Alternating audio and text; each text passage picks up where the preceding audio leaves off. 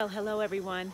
It's MarQue Las Vegas, MarQue New York, MarQue Worldwide, and today is day 20 of our positive, productive downtime. Wow, look how the sun is shining.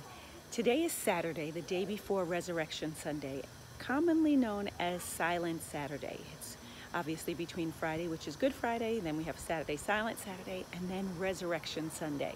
So, in my encouragement to you today, I want you to know that the weeping is almost over. As you can see, the sun is shining brightly, the weather is changing over, the birds are flying.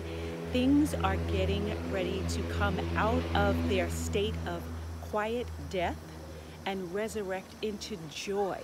So know that we only have a few hours, really, it's hours, that we're going to see the joy come in the morning.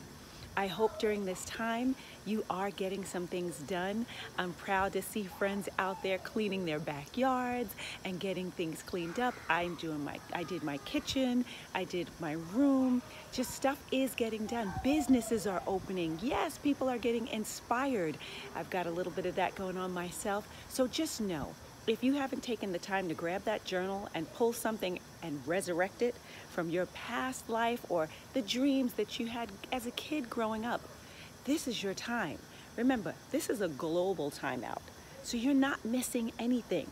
We're still waiting for the opening of the world to happen again. I guess I'll say it that way, okay? So, on your day 20, positive, productive downtime, here I am, MarQue, encouraging you Joy will be here in the morning, and we can look forward to going into a wonderful future ahead in the joys of a new life, a new path, a new way, and you can be doing a new thing.